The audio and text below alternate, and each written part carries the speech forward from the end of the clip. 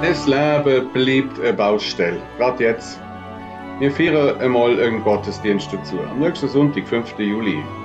Wir machen das dann auch ähm, in einem äh, Bau, der mit dem zu tun hat, weil wir dort gut können singen können. Wer uns helfen will, kann einen eigenen Stuhl mitbringen, sind wir dankbar dafür, für die anderen Sorgen. Wir, wie man dort ankommt, Bahnhofstrasse links bei der Adventkirche vorbei, dann äh, ist dort unser Parkplatz bei der Pülling AG, Kantine. Dort hat es dann auch ein WC, wo man dann nutzen können. Und gerade noch ein paar Meter weiter gelaufen ist man dann schon bei Hedinger Bau und schon gesehen, wo der Gottesdiensthalle vom nächsten Sonntag, aber geschützt.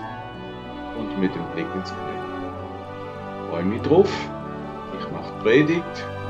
Ähm, unsere Kirchenmusikerin Pia Fuchs wird wieder spielen, am E-Piano leider nur, aber doch. Und Katja Christovic wird singen.